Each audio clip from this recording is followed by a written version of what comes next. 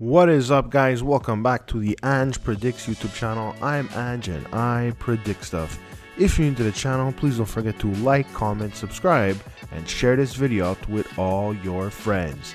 If you like prediction videos, check out my playlist of sports predictions. Alright, guys, today is Sunday, February the 5th, and we have some awesome NBA games to go through. So let's take a look at the schedule, guys. We have the Magic going up against the Hornets at 1 p.m. At 5 p.m., we have the Cavaliers going up against the Pacers. At 6 p.m., we have the 76ers going up against the Knicks and the Raptors going up against the Grizzlies. And then the 7 o'clock games, we have the Kings going up against the Pelicans at 7 and Denver going up against Minnesota at 7 as well, guys. So let's get right into the predictions. All right, guys, Magic versus Hornets. The Magic play very well on the road.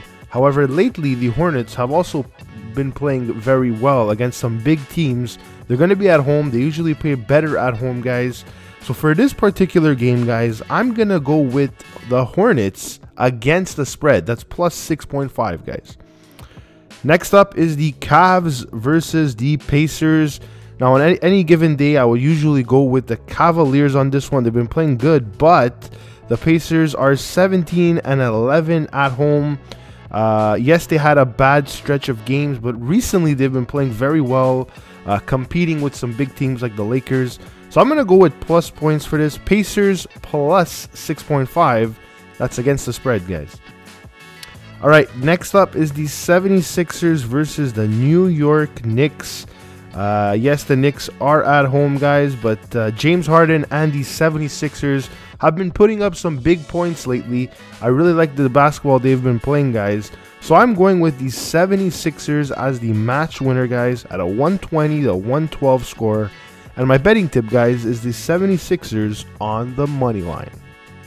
Next up, we have the Raptors versus the Grizzlies.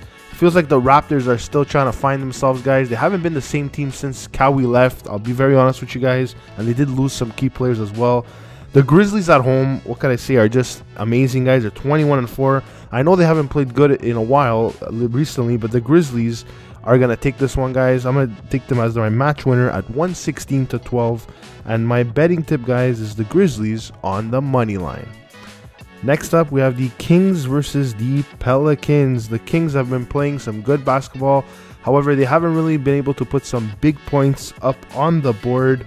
Uh, if we look at the Pelicans team, obviously they've been struggling recently, guys. Like I said, a lot of uh, injuries and setbacks, stuff like that. However, they are at home and they play better at home. So I'm going to go with the Pelicans, guys, against the spread. All right, the last game is the Nuggets versus the T Wolves. The T Wolves did disappoint me last game. Uh, they do play well at home, guys. They're going up against a Nuggets team that has also been playing very well uh, recently.